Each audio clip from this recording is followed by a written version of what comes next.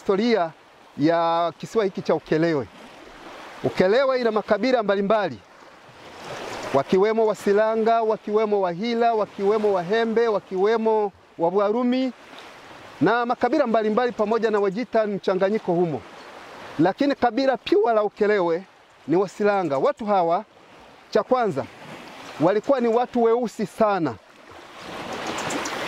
watu ambao walikuwa ni sura zao ni za makengeza, lakini pia watu hao uzao wao ulikuwa ni mfupi mno, ulikuwa ni mchache mno na wakati fulani hawa Wasilanga hawa au Watemi hawa Wakikelewe hawa walipokuwa wanakwenda kufanya hija zao huko Mwanza, wanakwenda kukutana na kukutana na gavana wa huko, walikuwa wanakutana na, na, na Watemi kutoka sehemu mbalimbali, wakiwemo pia na Watemi kutoka katika kisiwa cha Ukala. Mtemi wa Ukala yeye alikuwa anaitwa Mataba, lakini siku moja wamekwenda wamekwenda kwenye vikao vyao Aa, wakafika kwenye eneo moja la Kirumba. Hapo ndipo walipokuwa wanatua hapo Kirumba kwa ajili ya kwenda kufanya mikutano yao.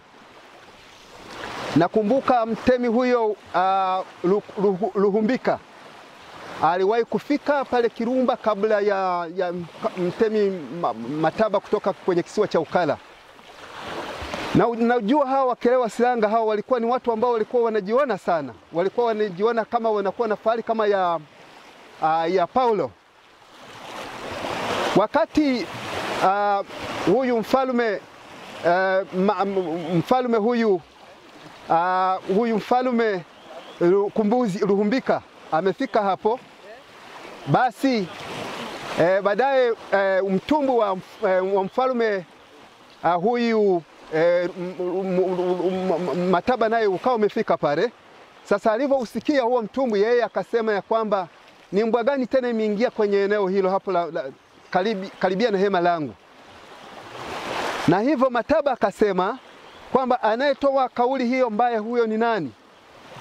Basi Mataba akafyatuka na mkuki wake kwa ajili ya kwenda kummaliza huyo a, m, mtemi Luhumbika wa kisiwa kikubwa cha Ukelewe, na ndipo wale e, wafuasi wake walipomzuia, wakamzuia asimalize uhai wa huyo mfalme uh, wa, wa Ukerewe, na hivyo basi Mataba akatoa kauli hii akasema, kwa sababu wewe hujawa na mtoto leo, ninge, leo ilikuwa ni, ni maisha yako ya mwisho, ningelikumaliza na ufalme wako ungelichukua na watu wengine, kwa sababu huna familia na huna mtoto.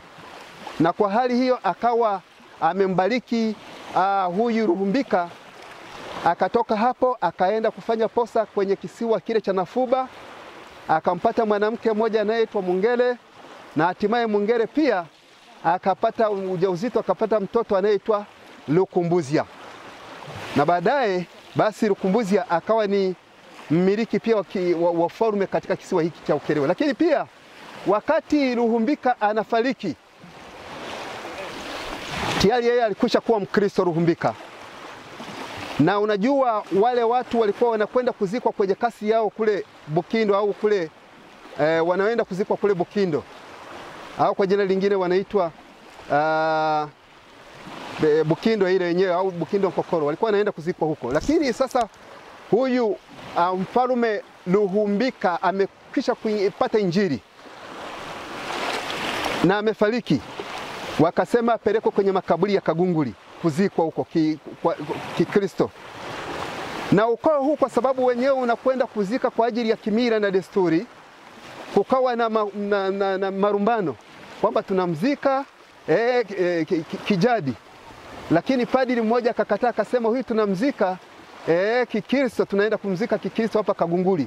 Akasema kama mtabisha kumzika huko Kitale Bukindo, hiyo Bukindo itageuka iwe kisiwa cha Kwelu na Kwelu itageuka iwe kisiwa cha ukelewe na hatimaye ngoma zikapanda zikapanda, e, walikuwa wanaitwa ndiriri, ikapanda kumtoa kule Bukindo wakamleta kwenye uh, huku Kagunguli.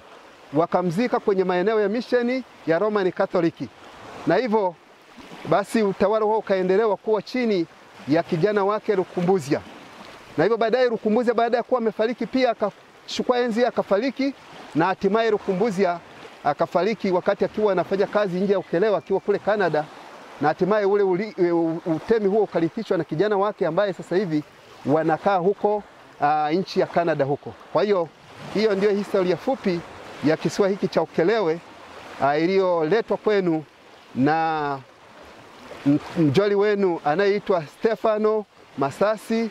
Yeye ni muumini wa kanisa la Waadventista wa Sabato katika eneo hili la mtaa wa Ilangala e, kutoka Ukelewe. Asanteni na karibuni kwa makala nyingine tena.